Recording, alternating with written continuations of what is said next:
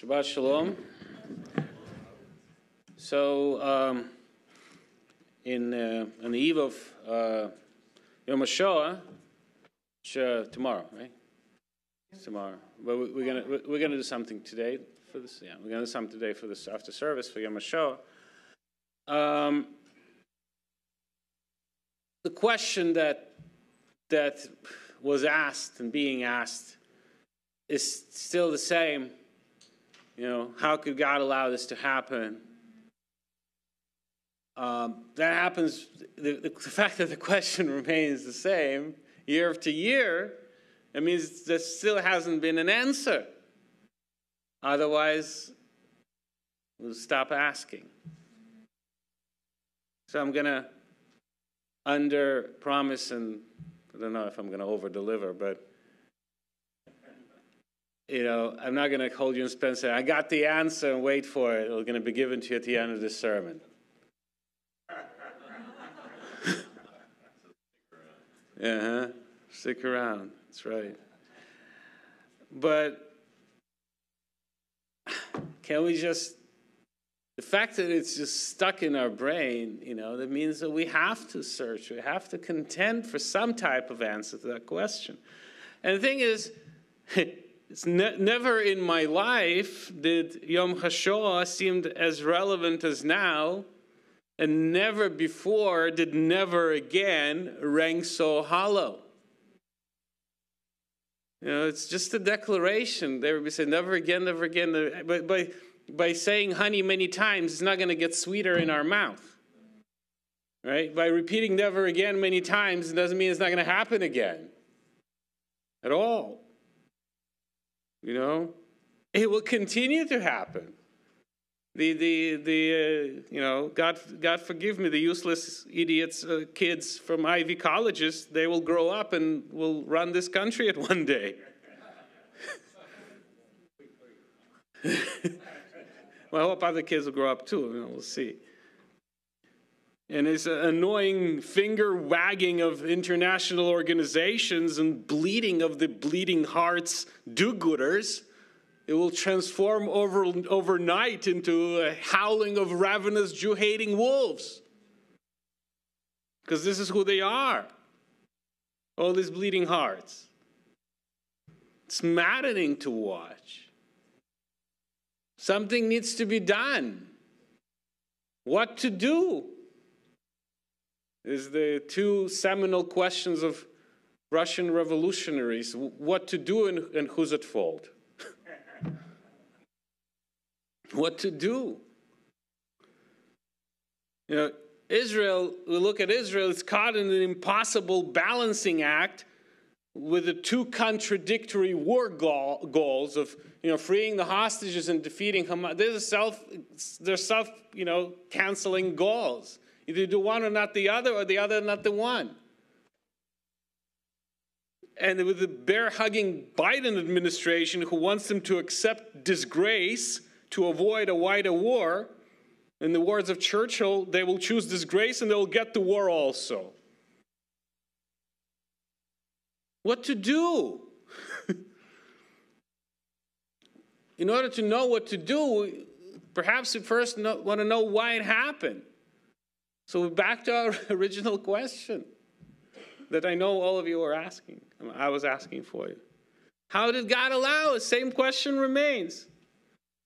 We can offer all kinds of explanations. Why did Holocaust happen? You know, well, it was assimilation. We were assimilated in Germany and abandoned the tradition of our fathers. Well, the fact that we were not assimilated in Ukraine, Poland in the 17th century didn't allow, not stop Khmelnytsky from killing millions some Jews. You know, so that is not cannot be the reason. We have, uh, you know, rejected the Messiah, and this is why all these things are happening to us. But it's not just us who rejected the Messiah. Romans also rejected the Messiah. Romans crucified him. It was the Jews and the Romans, they all came together. The leaders of the Jewish people and the leaders of the Roman government came together and, and, and, and crucified the, the Messiah. It's the, the Herod and Pontius Pilate in fulfillment of the, of the Psalm 2, why the nations devise all these kind of uh, wickedness. So, and, and, and then generation that says, may his blood be upon us and, uh, and upon our children. It was that generation and their children. I mean, it wasn't us. It wasn't this. It wasn't like any other generation. It was that wicked generation. That's it. They cannot bind everyone else that comes after them with some kind of an oath.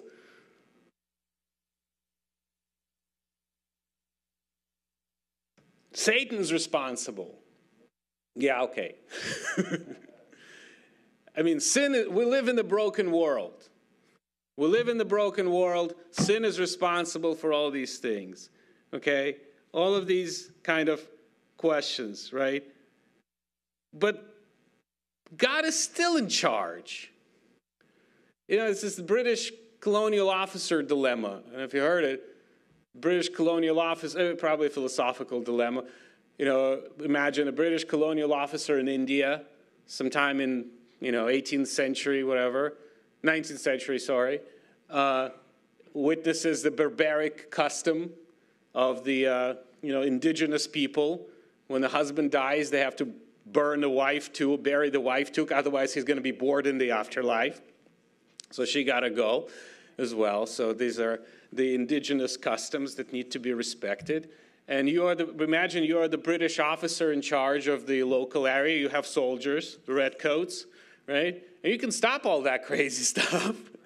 you just say, no, that's not happening, right? But who are you, by the way? Who are you to interfere in the local tradition? You know, if you do, there's going to be some kind of a rebellion and all that. So, so you, you want to want to keep calm and respect the local customs. You know, and by the way, what are you doing there anyways? you, you know, you're some colonizer, you should probably go back to Britain, I don't know. He's like, this is this dilemma, but so you have the power to, but regardless, you got the power to stop it. I mean, of course, it's not one to one analogy, but it kind of gives you an idea. God has the power to stop all this. Why didn't He? Regardless of anything else.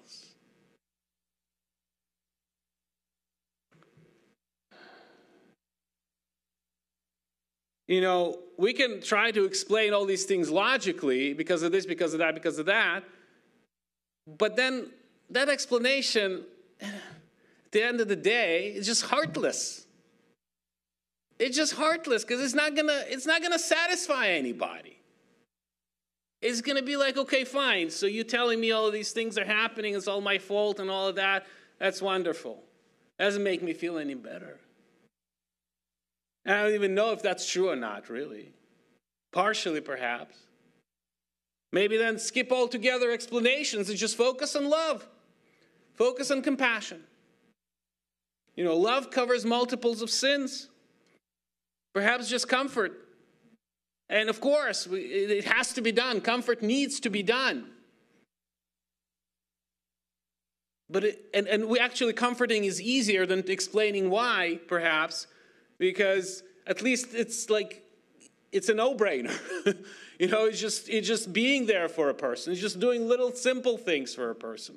Whoever's suffering is to provide like just just just to be there for them. It's instinctive, you know. We know how to do it. It's not it's not difficult. And it's and it's absolutely necessary. It's like this Job's friends you know, situation where Job's friends start there, start offering, offering some reasons uh, for what, this is why it's happening to you, as opposed to just being there for him saying nothing. Or, or saying what Elihu said, the fourth friend, who said, God knows. I mean, mean, just be there for them. But still, even when comfort is very important and fundamental, we still want to know the reason why. Because you know why? Because the reason why makes suffering easier. At least you know why. But it has to be the real reason. It has to make sense, it has to resonate. You know, sins is the reason, right?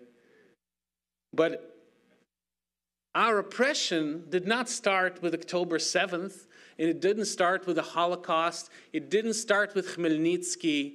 It didn't start with the expulsion from Spain and England. It didn't start from the destruction of the temple in Bar Kokhba, uh, from Bar Kokhba rebellion, destruction of the temple. It didn't start then either. It didn't start with Babylonian ex- exile. It didn't start there either. It started in Egypt, all the way in Egypt, we were already oppressed.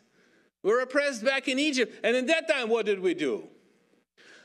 I mean, there's a, there's a verse here and there. That says in Egypt we were like idolatrous and we had some idols that we took with them with us, but really scant evidence. It wasn't some kind of a this damning indictment against the people that they were such sinful bunch that they had to be like endure 400 years or 210 years of slavery, whatever you you look. it, for, it, it, there wasn't such a you know in indictment. They had to endure 400 years of slavery there and then. There they didn't deserve that especially killing of the babies of the, of the male child throwing in the nile.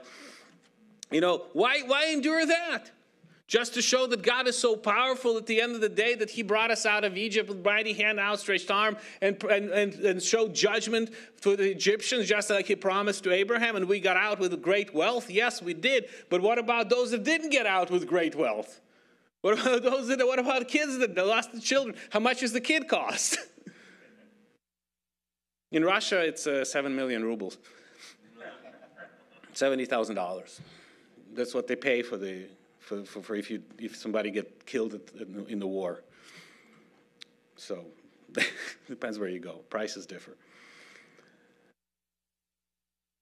Why you know, God is powerful. At the people expense. Well, okay, fine. That was three and a half year, three and a half thousand years ago. We said we were slaves in Egypt every Passover. We say it three and a half thousand years ago. Okay, whatever. Who feels that? But no. But Holocaust was 80 years ago. October 7th was six months ago. So all of these things that keep happening. So yes, it is in every generation we feel like that. You know, in every generation they rise up to destroy us.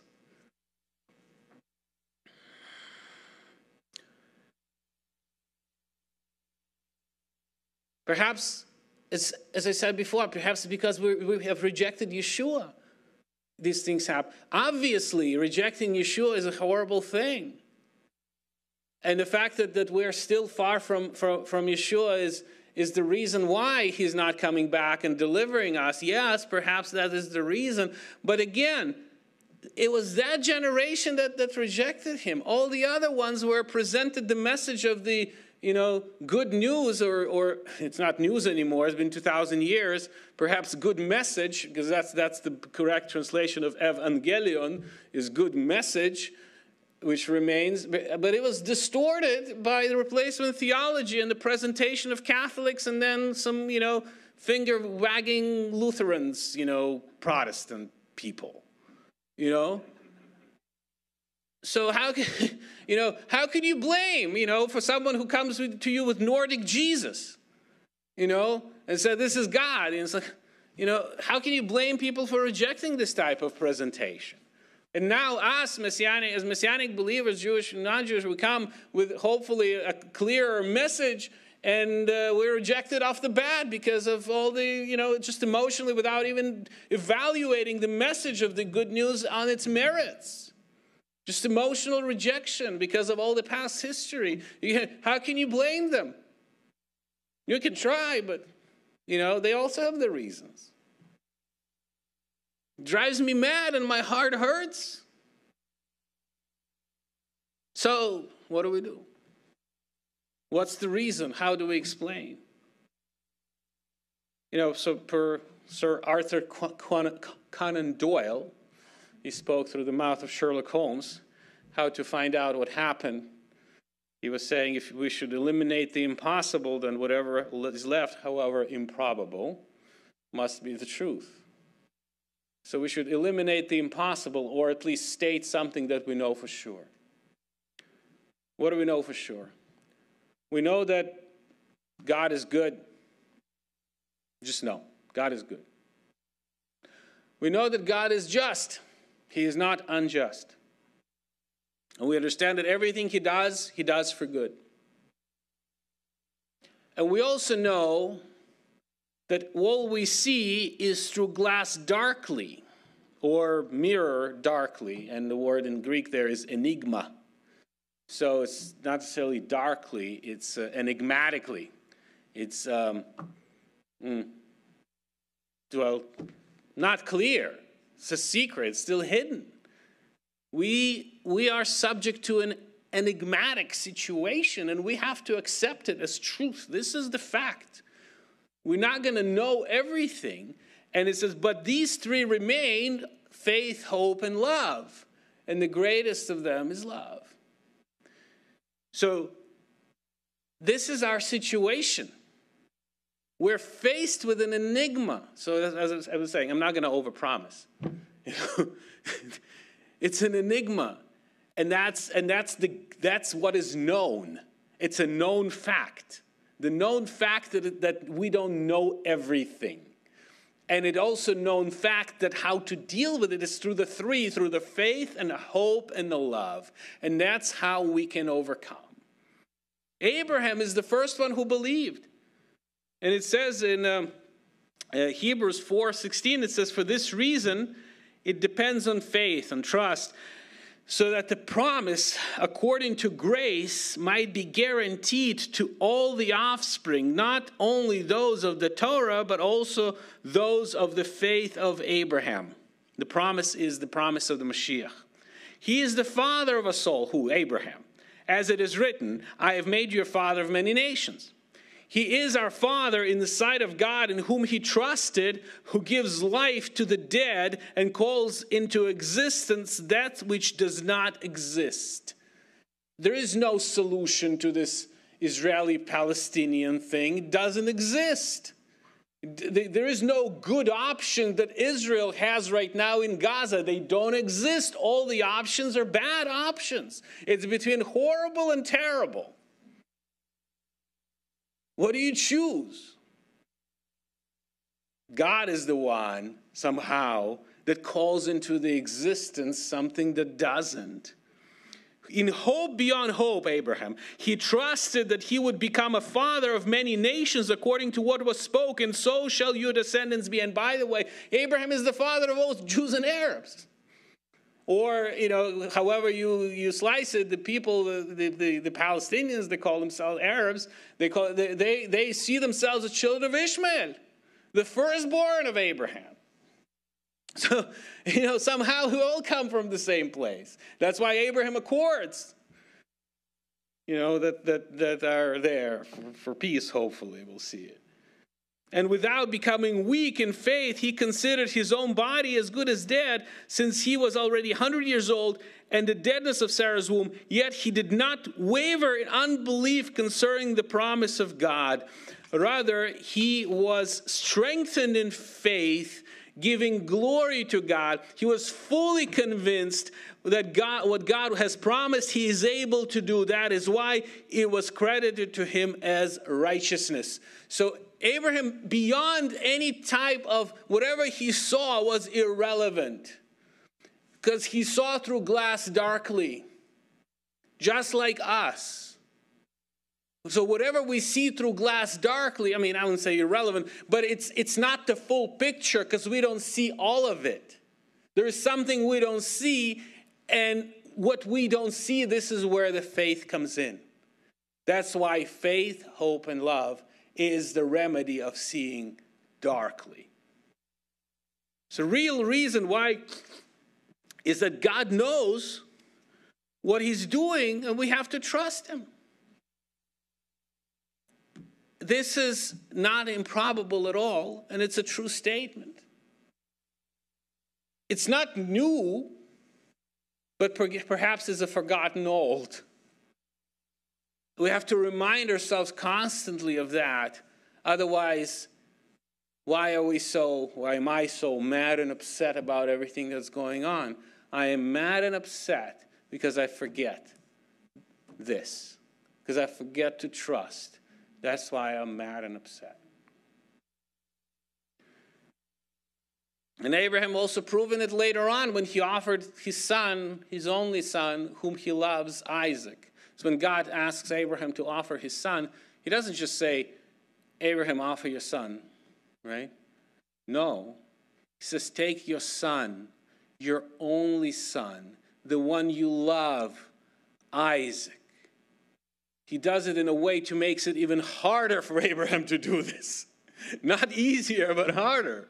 You know, when someone wants to sometimes speak to you harshly, so that create some kind of an emotional barrier to make it easier for you, for you to do some unpleasant. Not in this case. God shows that this is the one I want you to do. I want you to take something that you love, and I want you to offer something you, someone you love as a sacrifice like that. Of course, God stops Abraham from doing so, but this is such an emotional torture and yet Abraham does it. He goes ahead because he sees beyond what he sees. He knows by now to know God and God is faithful to his promises. He knows by now that God will somehow do. He doesn't know how, but just like because before when he saw his body as good as dead, where God called something that wasn't to be to be, so in this case, he reasoned God can give him back, give him back from the dead. That's what book, book of Hebrews said, that he believed that God will bring him back from the dead. He believed in the resurrection. What? Is anything impossible for God? We know everything is possible. And that's why hmm, one of the answers to the Holocaust question, how could God allow it? God will wipe away every tear.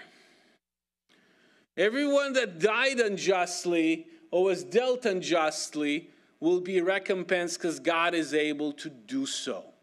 He is able to resurrect the dead and to compensate everyone accordingly so no one would say, What have you done? Or you have dealt unjustly. This is what we believe that God can do so, regardless of how it looks to me now. And you and God just like God told Abraham to offer his son and stopped Abraham from doing so. God offered his own son, right? We know that. God offered, God loved us so much, he offered his own son. And Israel, being the son of God, just as he says to, to Pharaoh, Bni Bechor Israel, the, my son, my firstborn is Israel, says God to Pharaoh, God kept, keeps offering Israel over and over again. You think it doesn't hurt him?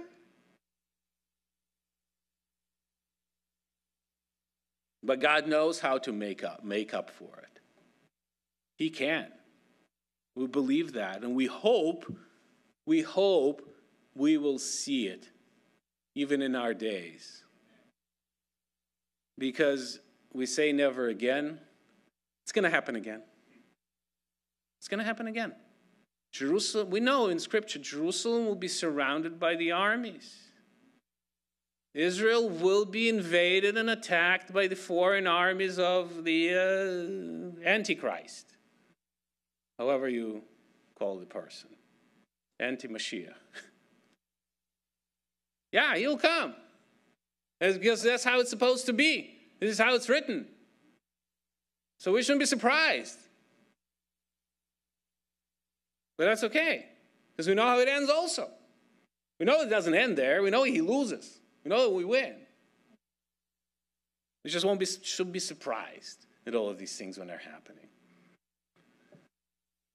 It's just a matter of time. And we know that those that died in Mashiach, they'll be resurrected also. We believe this truth and we hope to see them fulfilled. So, what do we do? What do we do? In Hebrews 12, 12 through well, Hebrews 12, 12, it says, Therefore, strengthen the hands, he's quoting Isaiah, strengthen the hands that are weak and needs that are feeble, and make straight path for your feet, so that what is lame would not be pulled out of joint, but rather be healed. Whatever is happening with our lame conscience. so it's not completely destroyed, and we become jaded and disappointed and abandon the faith but rather be healed in our understanding. Pursue shalom with everyone. That means Palestinians also, by the way. Doesn't mean do suicidal things, but but be able ready to forgive. And holiness without which no one will see the Lord. Not through glass darkly, but face to face. See to it that no one falls short of the grace of God, and see to it that no bitter root springs up and causes trouble, and by it many be defiled. Bitter root of uh, unbelief or sin, and so on and so forth. And then later on in the same chapter of 12 22, it says, But to, to, to explain why, it says, But you have come to Mount Zion, to the city of the living God, the heavenly Jerusalem, to myriads of angels, joyous gathering, and to the assembly of the firstborn who are written in the scroll in heaven, and to God, judge of all, to spirit, to the spirits of the righteous ones made perfect, to Yeshua, the mediator of the new covenant, and to the sprinkled blood that speaks of something better than the blood of Hevel, Abel. This is what we are come to. This is what is our goal, and this is what we have even now.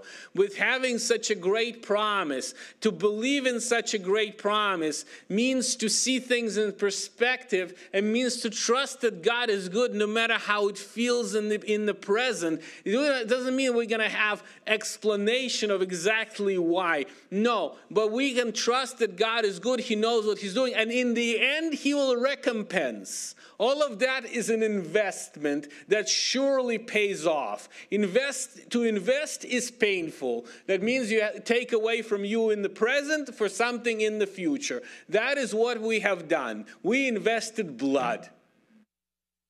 But God also invested the blood of his son. So everyone by his blood our sins are forgiven and we will be restored and redeemed. Today if you hear his voice, do not harden your hearts.